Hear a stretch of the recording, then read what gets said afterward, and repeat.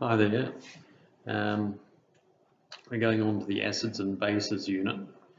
And in this standard, the acids and bases standard, if you don't know the names and symbols of the first 20 elements in your head, and there's four other elements from the periodic table that you need to know, then you are very, very, very unlikely to pass. Okay, so today's lesson is mainly about learning the names and the symbols of the first 20 elements.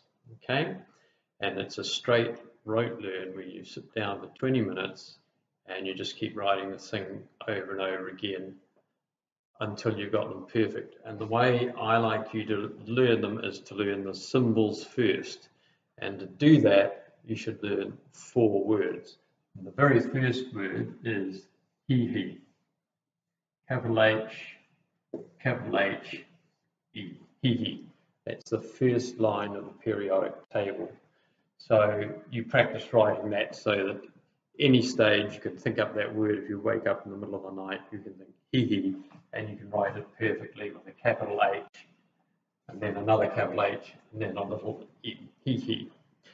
And there are four of these words that you need to learn, and the key is that you need to pronounce them very, very carefully and slowly, and pronounce every letter in the word.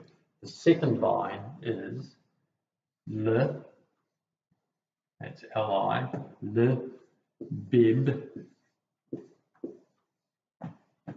ke, nof, ne. Okay, so you, what you need to do is to go over there, say that to yourself very carefully so you pronounce every letter le, bib, ke, nof, ni. Say it out loud, very slowly and carefully, a number of times. Okay, and the way you wrote, learn them is to write them out from memory. So if I have a piece of paper I would now, I've had a good look at that, and what I would do is I would then cover over that word, and from memory I might go le, bib, ni. Once I've had a good go at writing it from memory, I then uncover it and then I look at it and I think, oh goodness, I've left out that B there and I've left out the O and it's a capital O. Once you've got all the letters down, you need to make sure that you get the capital letter and the lowercase letters correct because if you write BE, that is not correct. Okay, so you keep on doing this. So once you've had a go, look at it carefully, study it up, cover it over again, maybe just fold your page over and you keep on doing this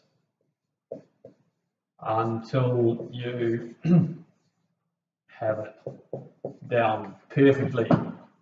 Take that off and I'm getting a lot better here. Look at that. Oh, I've got the same element twice. I forgot the E for neon, which is on the end there. Okay. And I keep doing this again and again until I know Lidbig Kinnochni very, very well. Okay. And then you go on to word number three.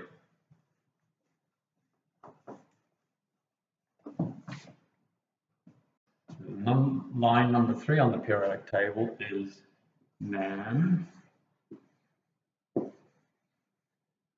gal,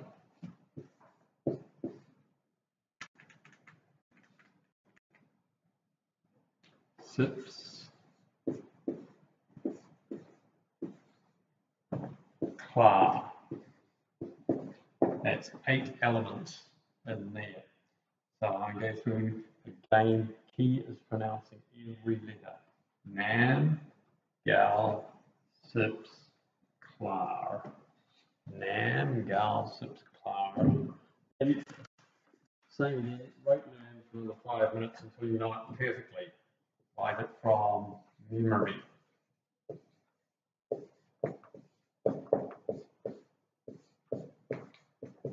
And you uncover it, unfold your paper, and check. And of course, there'll be lots of gaps and mistakes in that first one. Nam, gal, sips. Whoops, I've left out a whole element there, element sulfur, plant.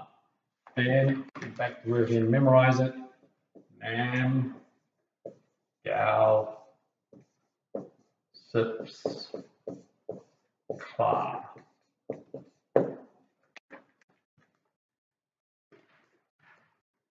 Okay. Keep on doing that. You know that. Go back, practice the other three words. And then we're on to the last word, which is the fourth line, or just the very start of the fourth line. And that goes ka. Potassium and calcium. Okay. Potassium and calcium. So kika, if you wanted to, I used to know the periodic table, you can carry and go skiti, vikramin, vikoni, kujan, gagias, and learn the whole periodic table that way. Okay. So, kika, that's the four words. And when you finally come back to your first science lesson, I'll be giving you a small piece of paper and your first job will be to write out all of those elements in order and you will have to have their names. So he, he, the, bib, ke, nof, ni, man, gal, sips, cla,